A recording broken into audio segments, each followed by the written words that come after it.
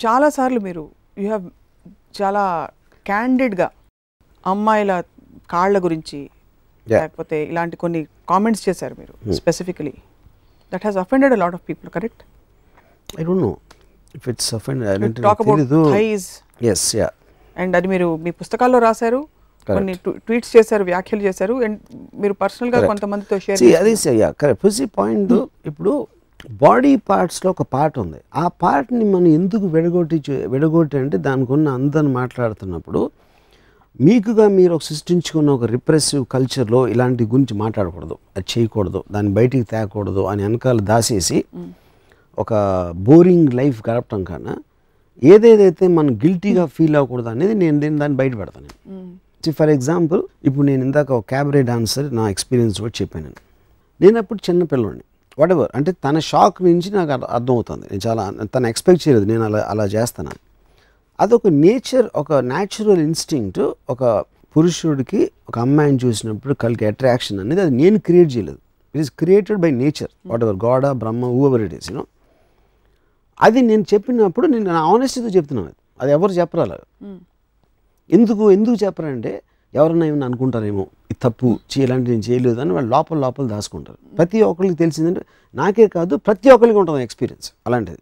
Maybe not exactly that అలాంటి type experience కానీ నాకు ఫిలాసఫికల్ సైకలాజికల్ ఆస్పెక్ట్లో నాకున్న నాలెడ్జ్ నాకున్న ఇంట్రెన్సిక్ స్టడీ దాని వలన I don't feel guilty about expressing anything దాని తర్వాత ఎన్నోళ్ళు వాళ్ళు వాళ్ళు ఎందుకు ఫీల్ అవుతున్నారు? ఒక యాంగర్ ఒక సెన్స్ ఆఫ్ రైటిస్ ఇప్పుడు ఇప్పుడు చాలా అన్నాడా? అటు చూసావు ఎలా అన్నాడో? అంటే అలా ఎందుకు అనకూడదని ఒక సెకండ్ ఆలోచించాడు అదొక ప్రోగ్రామ్ రియాక్షన్ అది. ఇలా చెప్పకూడదు కానీ చెప్పాడు కాబట్టి మనం ఇలా రియాక్ట్ అవ్వాలి. Know?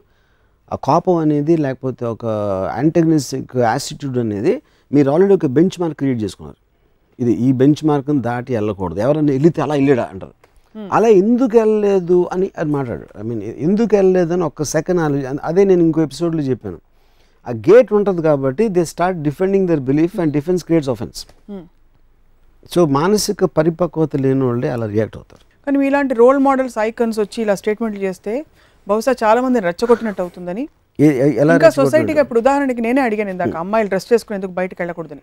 డ్రెస్ చేసుకుని వెళ్ళిపోతే అబ్బాయిలు రెచ్చిపోయి క్రైమ్స్ అగేన్స్ట్ విమెన్ పెరిగిపోతున్నాయి అని ఒక see that is where the whole ఇప్పుడు ఇప్పుడు దీన్ని అప్పర్ లిమిట్ ఏమవుతుంది? ఒక పర్టికులర్ రిలీజ్లో బురకాలు కప్పేసి బయటికి కనిపించకూడదు అని చెప్తారు. ఎందుకంటే బయటికి కనిపిస్తే ఆ మగవాళ్ళకి టెంప్టేషన్ వస్తుంది. ఆ టెంప్టేషన్ అనేది ఒకటి క్రియేట్ చేస్తుంది అనేది ఒక ఆస్పెక్ట్ సో ఒక పర్టికులర్ రిలీజన్ నమ్ముతారు అది. ఇంకో పర్టికులర్ రిలీజియన్లో అసలు కొన్ని దేశాల్లో మొత్తం బట్టలు ఇప్పేసి నూడుగా ఉన్నా పర్వాలేదని ఇంకోళ్ళు అంటారు. మనమేమో ఎక్కడో మధ్యస్థం ఇటు అటు మనం ఏదో ఉంటాం. అలాగే రకరకాల కల్చర్స్లో అట్లు. కానీ అదంతా కూడా it is reflection of the culture and the time you know so కానీ కామన్ పాయింట్ ఏంటంటే ఏదైతే పార్ట్ ఉందో ఏదైతే ఫీలింగ్ ఉందో దేర్ ఆల్ నేచర్ క్రియేటెడ్ అది రిలీజన్ నుంచి రాదు. రిలీజన్ అనేది కర్బ్ చేయడానికి ట్రై చేస్తుంది మొరాలిటీ కర్బ్ చేయడానికి ట్రై చేస్తుంది సోషల్ వాల్యూస్ ఆపడానికి ట్రై చేస్తుంది ఎందుకంటే జనరల్ గుడ్ ఆఫ్ సొసైటీ అని ఒకడు నిర్ణయించిన ఏర్పరిచిన పరిధుల్ని దానికోసం ఒక ఇండివిజువల్ ఫ్రీడమ్ని సప్రెస్ చేస్తుంది. So because I'm advocate of freedom I talk about thighs. You talk about thighs. Thunder thighs yes ఒక క్షణ క్షణంలోనే ఏదో ఏదో సినిమా షూటింగ్లో ఆ, క్షణ క్షణం ప్రాబ్లీ మీరు ఒక ఎక్స్పీరియన్స్ ఒక చిన్న అనెక్డోట్ చెప్పారు మాకు. Where Sridevi was coming down the stairs ఏదో జరిగింది అప్పుడు. I'm not very sure I remember where మీరు కెమెరా పెట్టి correct correct correct. Correct correct yeah ఆ రోజు మీరు చాలా తీవ్రమైన ఏంట ఇలాంటి సంఘటనలు మీరు ఓపెన్గా చెప్పేసుకుంటారు. ఎవరైనా నా గురించి ఇదిగా అనుకుంటారా చెడుగా అనుకుంటారా ఎప్పుడు అలాంటి అంటే. ఒక ఒక పొర కూడా అనుకుంటారు శ్రీదేవి గారే అనుకోవచ్చు ఇప్పుడే చెప్పాను కదా అదే so that's so I don't Sridevi గారితో చెప్పారా? Did you ever get to express your admiration for her beauty చాలా సార్ పర్సనలీ చాలా సార్ యా ఎర్ర గులాబీలో అనే సినిమా ఒక షార్ట్లో ఆవిడ బాత్ టబ్లోంచి లెగిసి షీ గోస్ అవుట్. సో ఆవిడ థైస్ ఫోర్ గ్రౌండ్లో క్రాస్ వెళ్తాయి మన కెమెరా. ఆ ఒక్క షార్ట్ కోసం నేను పదిహేడు సార్లు చూసాను సినిమా. పదిహేడు సార్ సో నేను శ్రీదేవి గారికి చెప్పాను దాని గురించి. సో పదిహేడు సార్లు నేను చూసి అప్పుడు ఆ టైంలో నాకు మెస్ బిల్ కట్టడానికి డబ్బులు ఉండేవి కాదు. కానీ ఆ షార్ట్ మెమరీస్తో నేను బతికేసాను హలో తిండి లేకుండా నేను కట్ చేయాలి అర్జెంట్గా మిమ్మల్ని. ఒక ఫ్యాన్గా అడ్మిరేషన్ చెప్తే ఎవరైనా దే వోంట్ ఫీల్ అన్కంఫర్టబుల్. డైరెక్ట్గా ఇవాళ నా షార్ట్లోనూ అందంగా కనిపించావని చెప్పగలిగారా? చాలాసార్లు. అసలు స్టన్నింగ్గా కనిపించావు. మీరు అంటే మీరు ఫీల్ అయిన తీవ్రత కోర్స్ ఆల్ దట్ మీరు బెస్ట్ బిల్ కట్టకుండా సినిమాకి వెళ్ళడం? అది షార్ట్ కోసం. సో అప్పుడు నేనేమన్నానంటే నేను అంటే ఒక పర్టికులర్ సందర్భంలో నేను ఏం చెప్పానంటే ఇలాగ మెస్ బిల్లు కట్టుకున్న షార్ట్ కోసం మాలాంటి వాళ్ళ మొలన మీరు సూపర్ స్టార్ అయ్యారు. మేము ఇచ్చిన డబ్బులు. You know so of course I'm one of the millions అది అది వేరే మ్యాటర్. యూనో సో అప్పుడు నేను వాటి గురించి అంత ఓపెన్గా మాట్లాడటం అనేది నేను వాటిని మీకు ఒక మాన్యుమెంట్స్ లాగా చూస్తాను.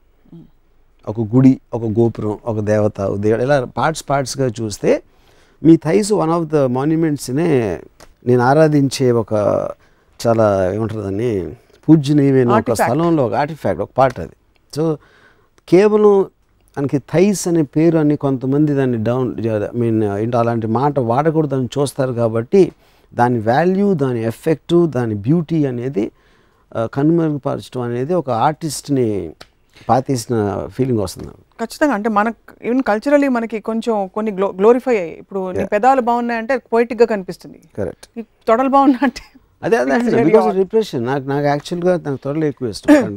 పెద్దల కన్నా. ఇప్పుడు ఎవరన్నా అమ్మాయి వచ్చి మీతో మీ చెవి కింది భాగం బాగుందంటే మీరు ఎంబారస్ అవ్వరా చెప్పండి అవ్వ- అవ్వచ్చు. నేను అవ్వను.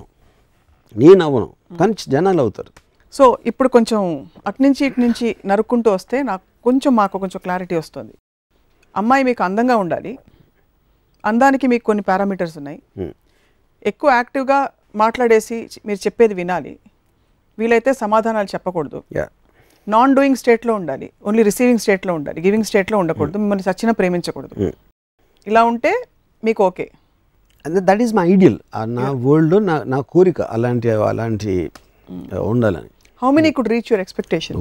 Nobody could you don't mind dying with a fantasy which is Yeah, far there's no.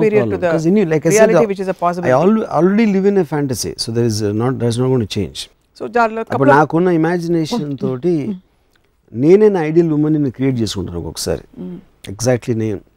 That can also be a pan star you said one whatever it is yeah Can be be anybody. Of course yeah ఇప్పుడు Shobha day మీకు ఎయిర్పోర్ట్లో కనిపిస్తే ఏం మాట్లాడతారు ఆవిడతో? శోభా day నాకు ఎక్కువ మగవాళ్ళలో ఉంటుంది యాక్చువల్గా ఒక అందమైన అమ్మాయి ప్రెగ్నెంట్ అవ్వడం నేను భరించలేను మీరు ఇంత బాగా చూసుకుంటానంటే యాక్చువల్లీ ఫ్రాంక్లీ చాలా మంది మిమ్మల్ని ప్రేమించి పెళ్ళి కూడా చేసుకుంటారు వీళ్ళు. మీరు దయచేసి పిల్లల్ని కనద్దు.